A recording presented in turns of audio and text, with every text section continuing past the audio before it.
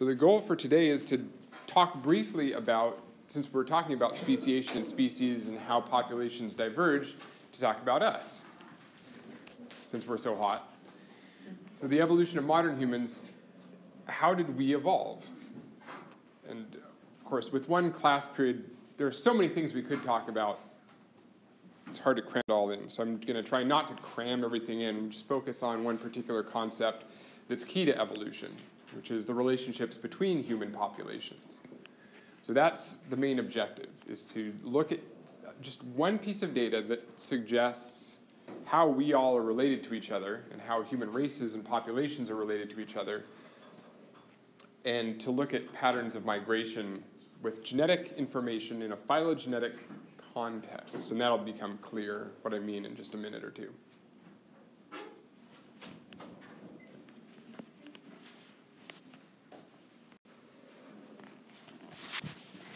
So here's your first job. Straight off, 8 a.m., Google Classroom assignment. You can do this by yourself if you want, or you can do it in a small group. It's up to you. So what I'm showing you here is a map of Africa, Europe, Asia, and the locations of a few different populations. We have current extant populations of humans, those are the ones with the pins, San, the Yoruba, both of which are found in Central Africa, right?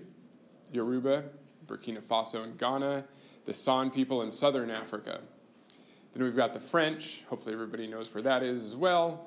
We've got Han Chinese, a particular group of Chinese, and then the individuals from Papua New Guinea.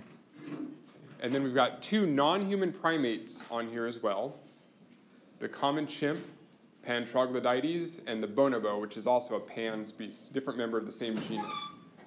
Okay, both of which are found in Africa. Your goal in the next five or so minutes is just make a blank screen on your tablet draw a phylogenetic tree that you think best represents the relationships of all of these individuals the San, the Yoruba, the French, the Han, the Papuan, bonobos and chimpanzees, and lastly, how they're all related to Neanderthals, which aren't a currently existing species. There are no Neanderthals left, they're extinct but I'm showing you where their range was. So outlined up here in purple is where fossils have been found of that ancient population of individuals, Neanderthals. Okay. So your phylogenetic tree should have eight different clades on it. Neanderthals, and then these seven populations that are currently existing. So sketch one out, submit it to Google Classroom, and then in about five minutes or so, we'll take a look at your hypotheses about the relationships those. So we're going to come back and talk about the hypotheses you developed after we do a little bit more introduction about the relationships between these populations and what's happened in the past to humans. As I mentioned, we are, which is kind of strange to think about, in, at least in my opinion, we're the only member of the Homo genus on the planet, Homo sapiens, right? There are no other Homo anything else in existence. We're the sole representative of our species, or of our genus. And this is a timeline of, which is in your textbook, of what happened to a lot of the other human lineages, ancient human, human lineages, and a smattering of samples of their skulls, fossils that have been recovered. And so it's kind of interesting, you can sort of see the evolution of at least brain size and skull shape over time from these various ancestors of ours. for example, look at Paranthropus, which is not necessarily a direct relative of ours. They branched off about three or four, between three and four million years ago into their own lineage, all of which representatives went extinct. So where do Neanderthals fall in here?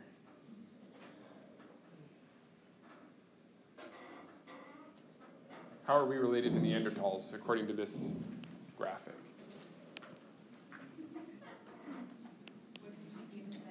There, so in this case, this tree suggests that Neanderthals are almost a sister taxon up here.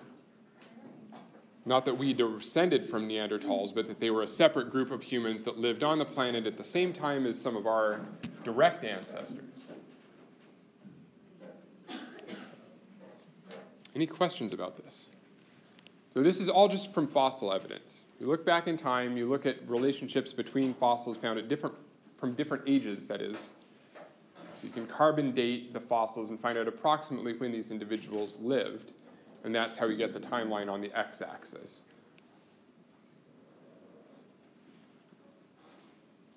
So it's a hypothesis, one hypothesis about relationships between us and other human populations. There are two, especially specifically regarding the exercise you just worked on, there are two main hypotheses about how all of us modern humans came to be and the relationships between the populations. The one on the left is the multi-regional hypothesis. The one on the right is called the out of Africa hypothesis. How do they differ?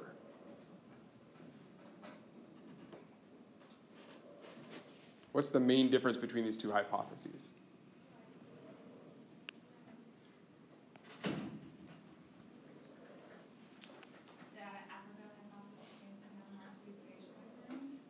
So the out of Africa hypothesis seems to have more speciation happening. So there's branching speciation, where at some point in time, a population of humans maybe left the population, split off, went somewhere else, went extinct. So it suggests there was a lot of that going on in the out of Africa hypothesis. Every once in a while, a group of humans left Africa and they weren't usually successful until recently, when modern humans, about, according to the fossil record, about 100,000 years ago, left Africa, colonized basically the rest of the world. In which scenario are all of us more closely related to each other? In which phylogenetic tree, left or right, multi-regional or out of Africa, do we share a more a common ancestor more recently in time? B. Right, so B. Right, we've got all humans sharing a common ancestor pretty close to present in the out of Africa hypothesis. What's similar about both of these hypotheses? About the geographic origin of human populations? Sure, they both started in Africa. And that's what the fossil record tells us, and remains we've found of individuals that look like what we expect ancient humans would have looked like. So the main differences are how long ago, right, was it two million years ago that our great, great, great, great, great, great, great ancestors started leaving Africa? Or was it much more recently in time that the common ancestor of all hu current humans, Homo sapiens, left Africa.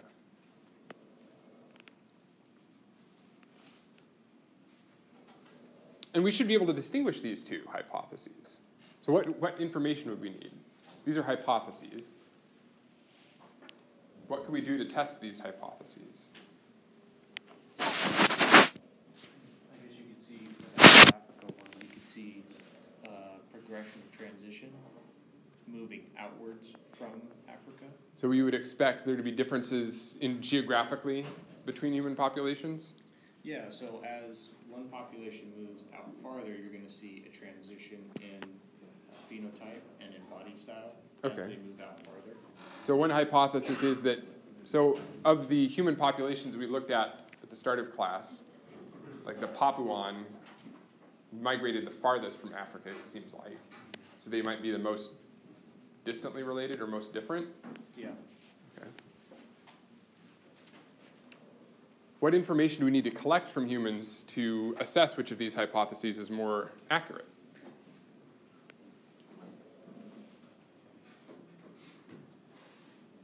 How do we tell how closely related we are to each other? What does a modern evolutionary biologist do? Collect what? Okay, so look at genetic differences. So you go to currently existing human populations and you collect DNA, you sequence it, and you ask, yeah, how genetically similar are different humans from different populations? this is another way of looking at the out of Africa versus multi-regional hypotheses. I just added in some photographs of the extant human populations. I know they're too small to see. Maybe if you zoom in on your tablets.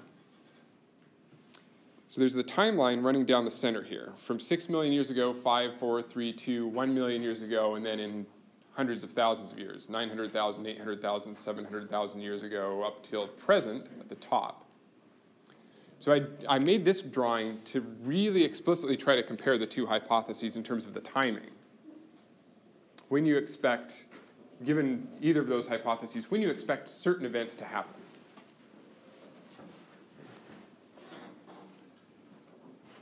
So the left side of the timeline is all out of Africa, and the right side is all the multi regional hypothesis. We've got Africa represented here in the middle, and then the Eurasian populations on either side. So, what's similar about both of these in terms of our ancient Homo ancestors or sister taxa, of the Neanderthals?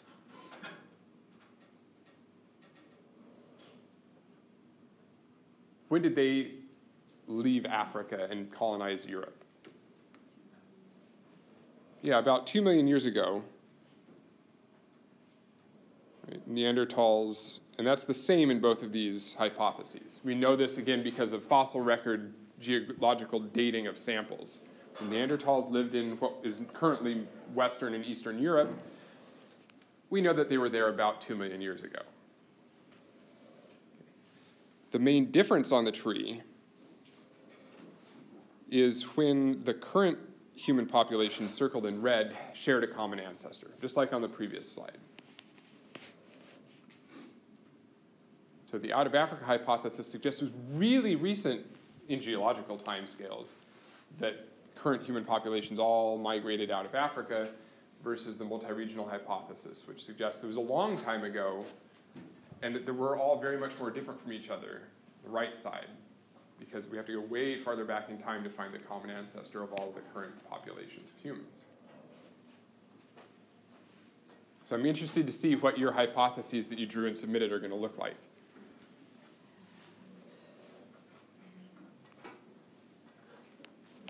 So this is a summary, and this is one of the keys for the goals for today. What are the predictions of these two hypotheses? You either have all humans being equally related to each other, all currently existing human populations, or you don't.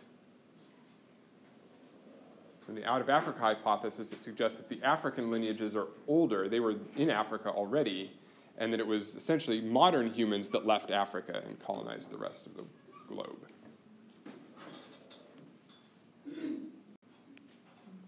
So here are the data. This is a phylogenetic tree done exactly the way it was suggested.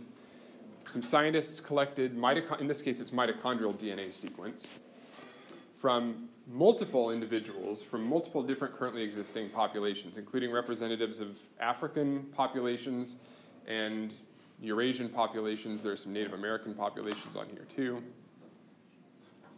So here's a big phylogenetic tree of humans.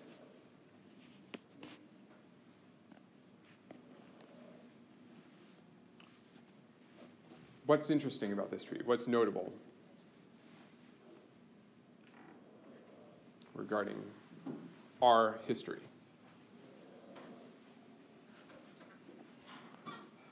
Ultimately, the goal is to decide which of those hypotheses this phylogenetic tree, based on genetic data, is consistent with.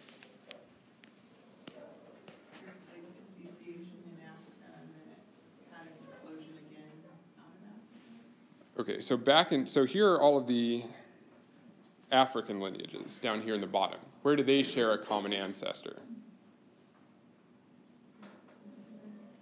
Way back here, about 190,000 years ago. So all of the, and let's see, what else is on this tree besides humans?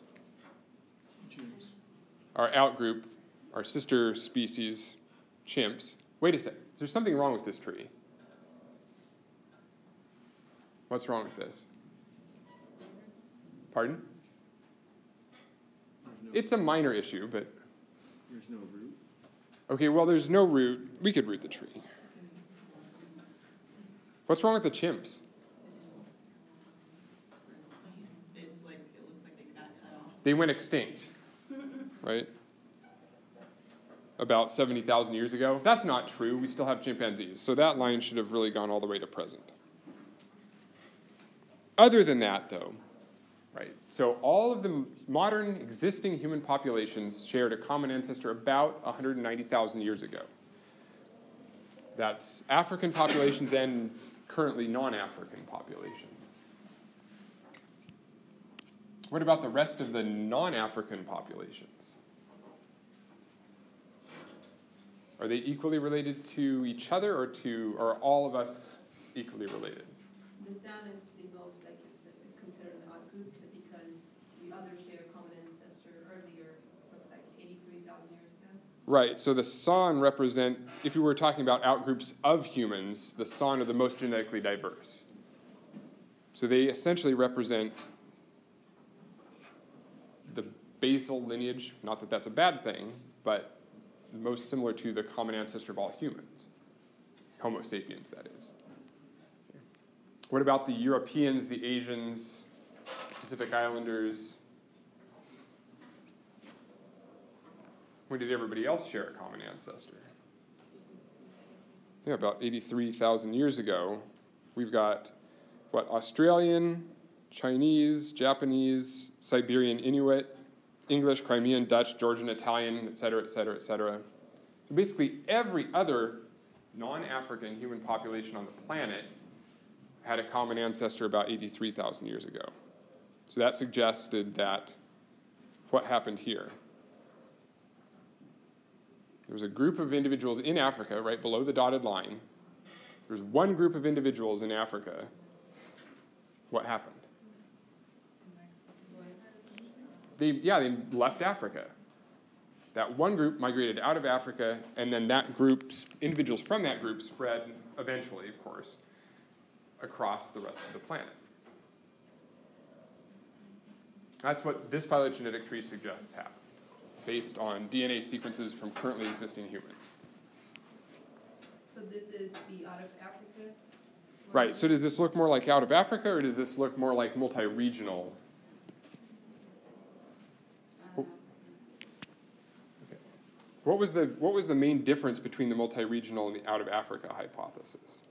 In multi-regional, they're all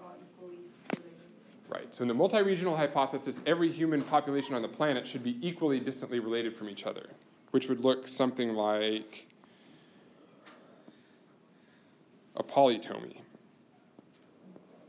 where from a single common ancestor, every human population, the San, the Papuan, the French, etc., would derive. So this looks like the out of Africa hypothesis.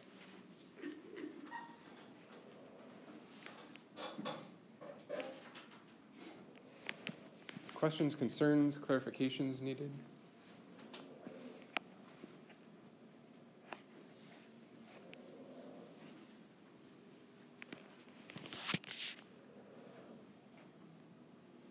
So where should we put Neanderthals on this tree? Wow. I heard a lot of very quiet. So they're not, they're more closely related to Homo sapiens than chimps. So presumably in there somewhere.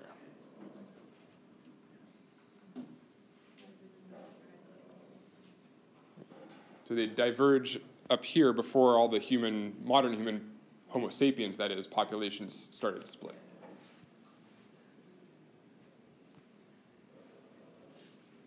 Got non human primates, chimpanzees, then we've got Neanderthals, then we've got modern humans, all of the rest of these individuals.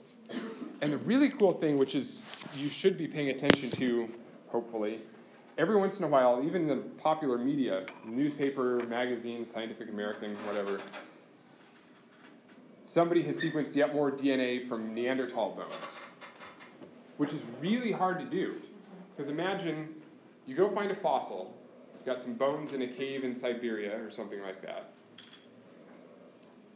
You want to extract DNA from bones that are 100,000 years old, Well, first of all, the DNA is degraded over that period of time. So it's in tiny little chunks, like tiny little pieces. It's no longer long chromosomes anymore. So that presents one challenge. What's another real problem with doing DNA sequencing of ancient humans to figure out phylogeny? What's the biggest problem, do you think? I don't expect you necessarily to get this, but there's a real technical challenge.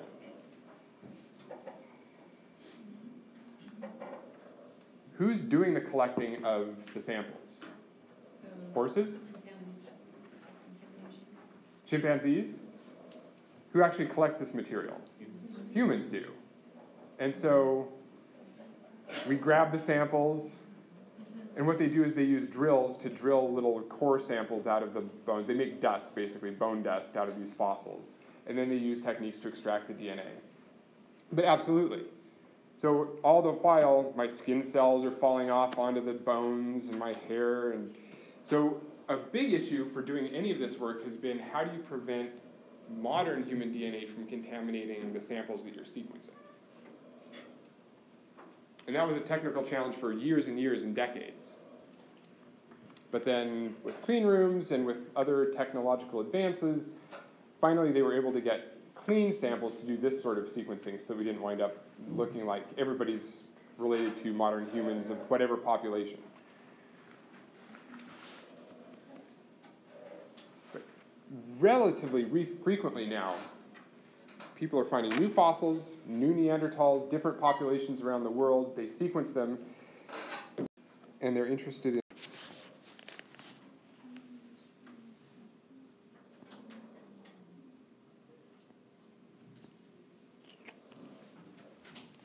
Let's see.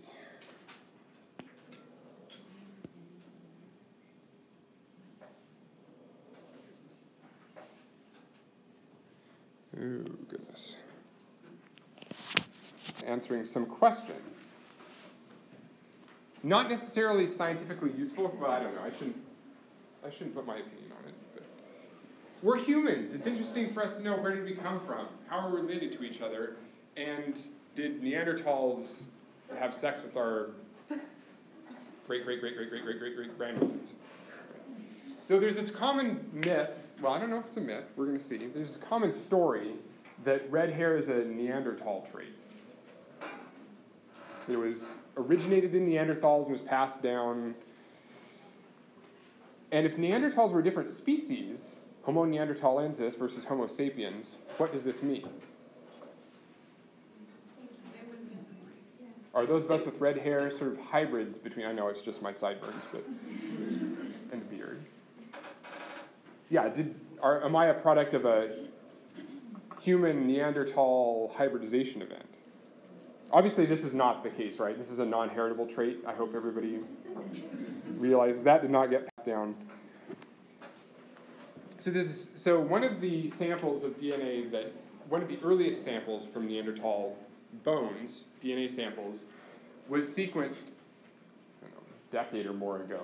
And one of the things they found, so this is from Science, the journal Science in 2007, up here. And one of the genes they were able to sequence from a Neanderthal bone was the melanocortin 1 receptor. And all you need to know about melanocortin 1 receptor is that it's involved in pigmentation. It's one of the proteins that's involved in deposition of pigment in the body. And they noticed that compared to modern humans, there was one specific mutation that changed arginine at, at amino acid 307 to a glycine. Right there. And they were curious what that did, what that one mutation would do to pigmentation. So they created that mutation in a currently existing human cell line. So they wanted to know, in a modern human, if they had that mutation, what would that do? And it actually affects the production of pigment in these cells. So the hypothesis, supported by some laboratory work using modern human cells, suggested that if a Neanderthal had that mutation, that they might have produced less pigment. And that's part of this story about maybe red hair was a Neanderthal trait. That reduced pigmentation was perhaps something that Neanderthals evolved because they lived in a climate where you didn't need pigment to protect your DNA from ultraviolet radiation.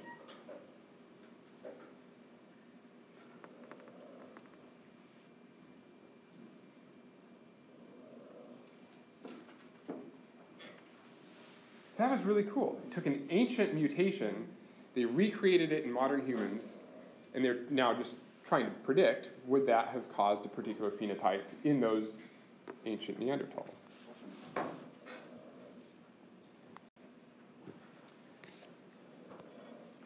But there are two hypotheses. If I have red hair, do, does that mean that I had to get that mutation from a Neanderthal ancestor? Really, it mean maybe the environment that you're in kind affected you similarly. Okay, so I'm of British ancestry, basically, and some Swedish, and all that Northern European. You can tell, right? And so, absolutely. So, this could be what do we call that in evolution when the same trait evolves twice? Convergent? Yeah, convergent evolution, parallel evolution.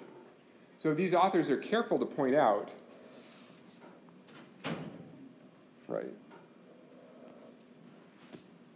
that this doesn't necessarily mean that Neanderthals were having their way with mm-hmm. Homo sapiens, or vice versa. that Homo sapiens were having their way with Neanderthals back in the day.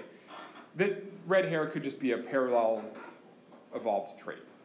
Neanderthals might have had it because they were in a particular environment, had particular selection pressures, and that modern Homo sapiens, the ancestors of modern Homo sapiens, we lived in the same environment and so evolved the same trait independently. But of course, the popular media loved this.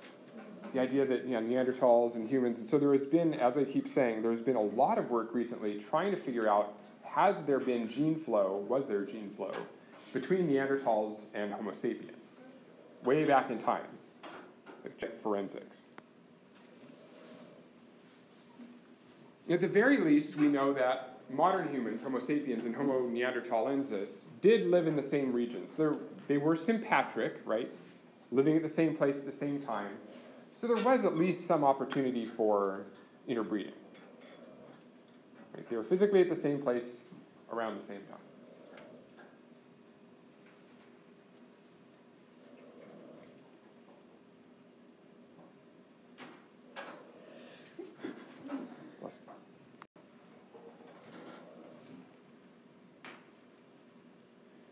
More recently than that, different group of scientists collected some bones from these four sites shown on the map. Did the exact same thing, extracted DNA, sequenced it, and wanted to know was there any evidence of inbreeding between Neanderthals and humans? And that's, by the way, what Neanderthal bones look like. I would have mistaken them for branches, but that's probably, I'm not an anthropologist or a geologist. Hey, look, there's some branches in this cave. So they found that there are some human populations, and this is just a cartoon, I know, it's not showing the actual DNA sequence data, but their conclusion was there are some alleles, specific mutations from Neanderthals that were found in current human populations. Again, that doesn't mean that they're synapomorphies, that is, it's the same trait evolved, derived from a common ancestor. It could be independent evolution, could be parallel evolution. But there were enough of them to make them suspect that there was some evidence that Neanderthal DNA might have moved into the Homo sapiens lineage somehow.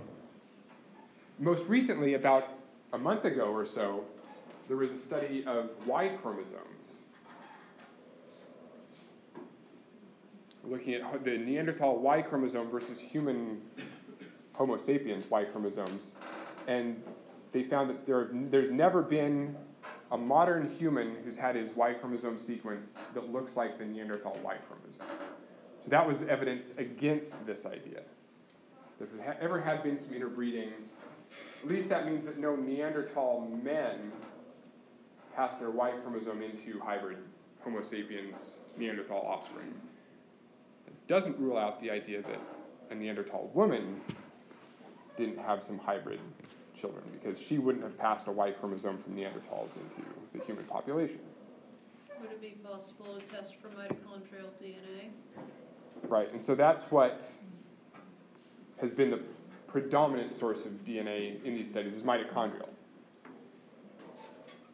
So this is really cool. Do you ever think about this? Y chromosomes pass from fathers to all their kids, their sons, and the sons pass their Y chromosome to their sons. So the Y chromosome only is in males ever. And that's one of the reasons that these sorts of studies rely on Y chromosomes. They have a single origin and then they branch and branch and branch as one ancestor. You could call him Adam if you want to. Spread one Y chromosome across every human population. And then there's mitochondrial Eve, which is a term that somebody made up a while ago. Because mitochondria are genomes that are passed from mothers to all their kids, but it's only inherited from by the mother. So you get mother to daughter to daughter to daughter to daughter to daughter inheritance. So you got the Y chromosome on one hand, you've got the mitochondrial DNA on the other hand, and both of them tend to show the same pattern. Mitochondria are way easier to work with because they're much smaller pieces of DNA. Easier to get them out of these samples. There are lots more copies of mitochondria in our tissues than our nuclear chromosomes, so it makes them much easier to work with.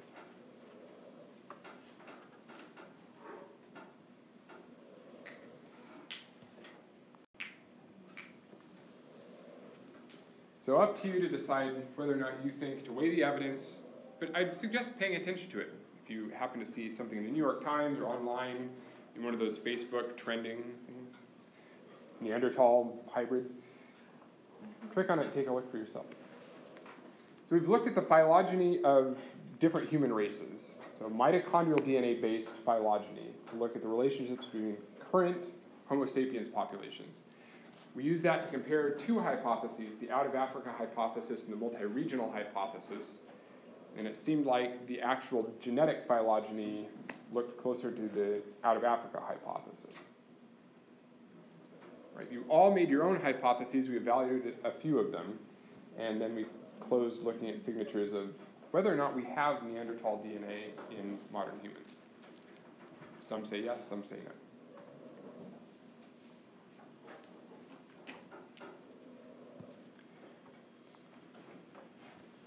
Given that we have a few minutes left, that's fine with me.